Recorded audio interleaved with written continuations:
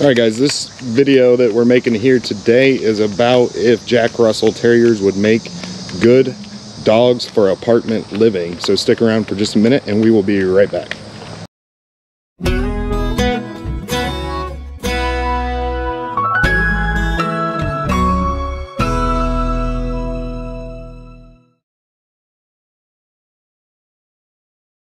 But today I'm out with the four-year-old son, just taking Luna, my two-year-old female Jack Russell Terrier for a walk. And then I'm gonna come right back and discuss if these guys are gonna make good apartment dogs for you or not.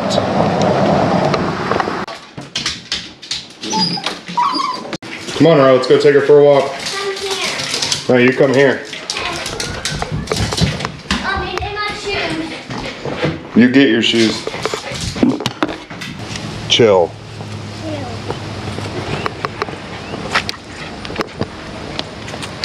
This dog is a lunatic. She's gotta go potty.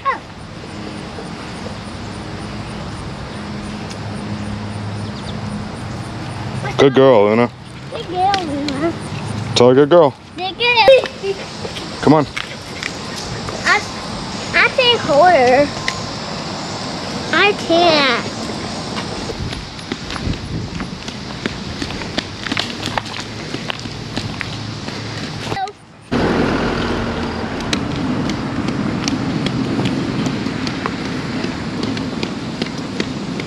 Hey, Dad, what did I say? All right, guys, so let's start diving into it here about Jack Russell's being good apartment dogs or not. In my opinion, I would say that they would be just fine as an apartment dog as long as you have days like today, a majority of the time, which is just me again and my four year old son taking her on a walk. I think you're going to be okay.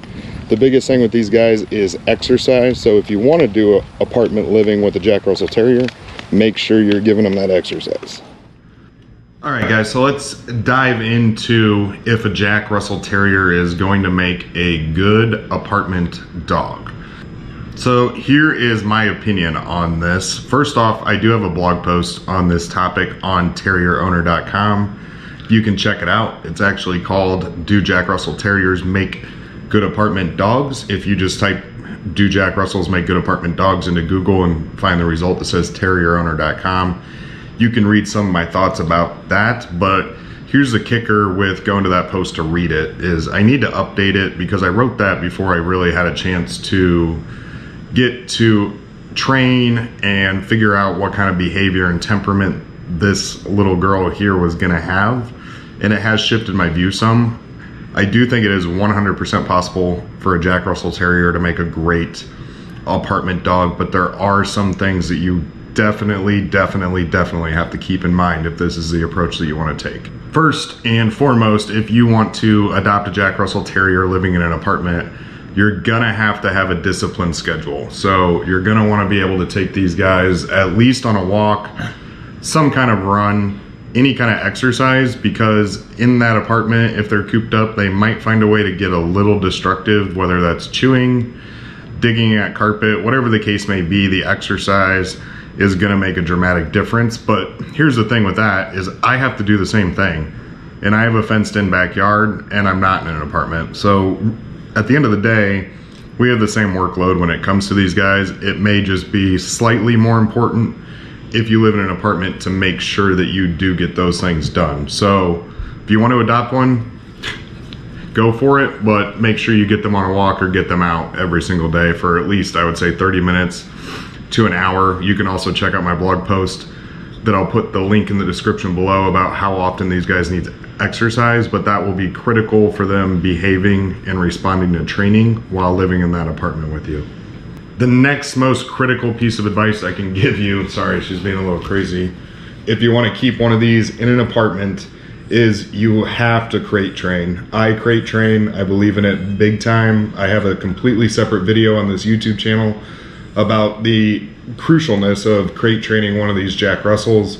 It helps with everything potty training, behavior, them getting used to you leaving them. I'm assuming you have jobs or I'm assuming you have a social life. So, getting them used to being in a crate is going to help you dramatically if you live in an apartment. It's going to help you whether you live in an apartment or not. but invest in a crate right from the get-go. My recommended crate is one of the really basic Amazon basic crates.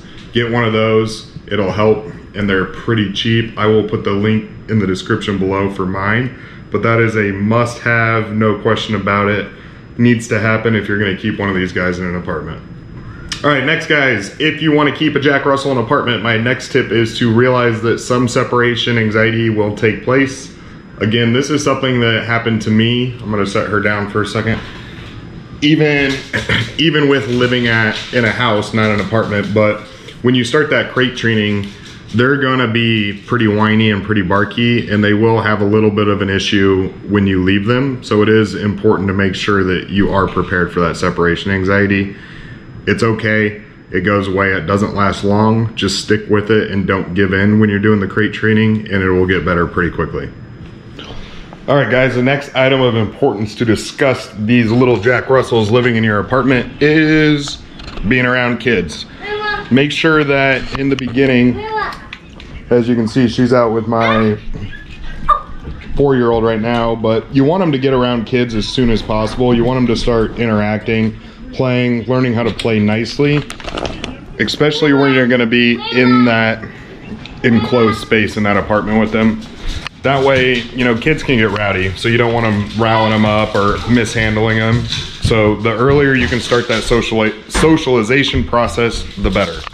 All right, next guys, biggest piece of advice living in an apartment with a Jack Russell is get them some toys, some bones. This is just one example. We have countless toys in the backyard, but you are going to need toys to give these guys to keep them occupied when they're out and about in a small space like that, you'd be surprised how much they like these big bones for being little dogs. There's one of your examples. My big dog's actually trying to jump the gate over here to get his own. So to play fair, I'm gonna go ahead and give him one of them so he doesn't hate me. For the record, he would be out and about too, but I needed a little bit of peace and quiet to be able to shoot this video. So again, make sure you get these guys toys keep them occupied when they're not in a crate, give them something constructive to do. I will also put the link in the description below to the toys that I have found the most useful for my Jack Russell, and I would get a bunch of them. They go through them very quickly. All right, guys, my last piece of advice for you on this topic is have some patience. They're crazy dogs, they're hyper, but they're a ton of fun. They just want to hang out, they want to play. You can see how she's interacting with my four-year-old. If you give them that kind of time, attention, and love, it gets way better as time goes by. Stay patient, stay diligent with the training.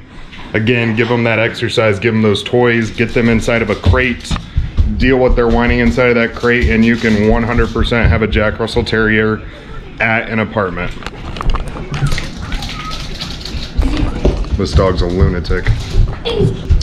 All right, guys, so that's about all I have for you on this topic here today. Again, don't hesitate to adopt a Jack Russell just because you live in an apartment. We do appreciate you guys stopping by. Again, make sure you like these videos if you're liking this content, if it is helpful to you. We wanna keep making it for you. Drop us some comments on what kind of videos you need from us, what would be helpful, and we will make that, we'll queue it right up and have that on our to-do list. Again, subscribe if you like it hit that notification button, and we will see you guys again next time. Thanks for stopping by.